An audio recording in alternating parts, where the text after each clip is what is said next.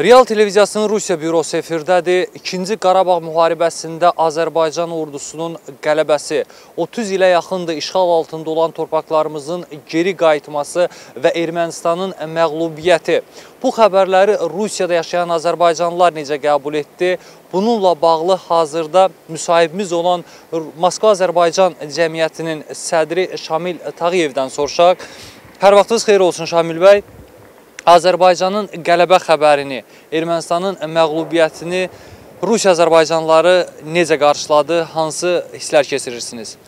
Bildiyiniz kimi Rusiyada Azərbaycanlılar həmin bugünkü qələbəni artıq Şuşanın işğaldan azad olması günündən bu tərəfə qeyd edirlər. Əlbəttə ki, dünən axşam evə gələndə Yolda da biz bu xəbəri aldıq ki, artıq ə, Azərbaycan, ə, Rusiya və Ermənistan tərəfindən ə, bu ə, sənətə, yəni sülh sənətinə imza atılıbdır və Azərbaycan bu müharibədən, bu savaşdan qalib kimi çıxır və Azərbaycanın bütün işğal olunmuş torpaqları işğaldan azad olunurlar.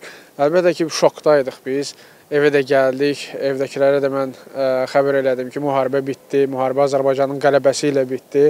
E, bir anlıq insanlarda, yəni evdəkilərdə, tanışlarda kimə zəng elədim, təbrik elədim. Hamıda ə, e, dur durğunluq var idi. Bir, yəni inanmaq istəmirdilər ki, necə olur ki, belə bir saniyənin içində müharibə bitir və Azərbaycan bu qələbəni əldə edir.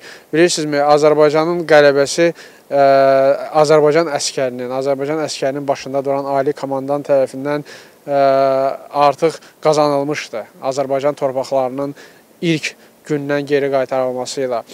Sadəcə olaraq Azərbaycan rəhbərliyi həm Ermənistana, həm dünya ictimaiyyətinə bildirirdi ki, bu yazıq xalqı, yəni bu yazıq hakimiyyəti bizim əlimizdən alın. Biz sülh təklif edirik. Bunlara başa salın ki, bunların hərbi e, bizimlə hərbi hərbi sahəsində qarşı-qarşıya durmağa gücləri yoxdur.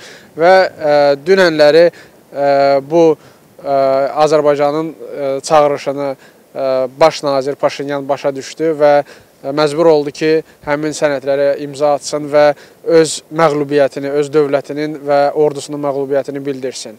Əlbəttə ki, Rusiyada yaşayan azərbaycanlılar bu xəbərləri indiyənə kimi qeyd edirlər.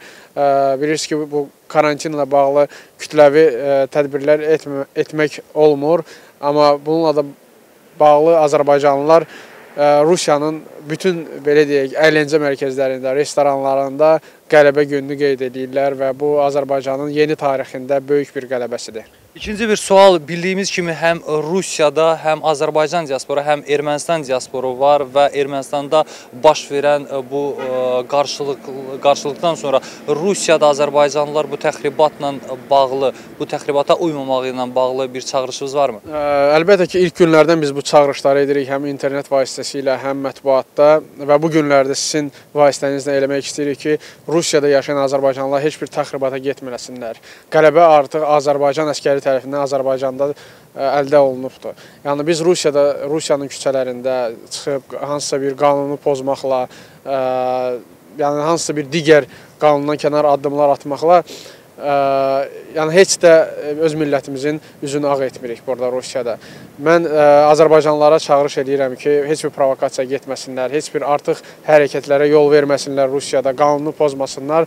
Çünki şəhidlərimizin, əskərlərimizin ə, qələbəsi bizim başımızı o qədər uca edib ki, biz başımızı belə də uca olaraq saxlayaq. Çox sağ olun, təşəkkür edirəm və real tamaşaçılarına çatdırmaq istəyirəm ki, Azərbaycanın əldə etdiyi qələbə tək Rusiyada, tək Moskvada deyil, Azərbaycanlıların dünyada harada yaşamasından asılı olmayaraq həmin yerdə qeyd olunur. Bir daha qələbəniz mübarək olsun.